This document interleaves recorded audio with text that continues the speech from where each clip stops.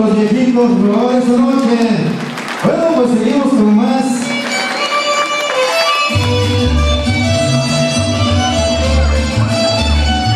Esos viejitos que no se cansan.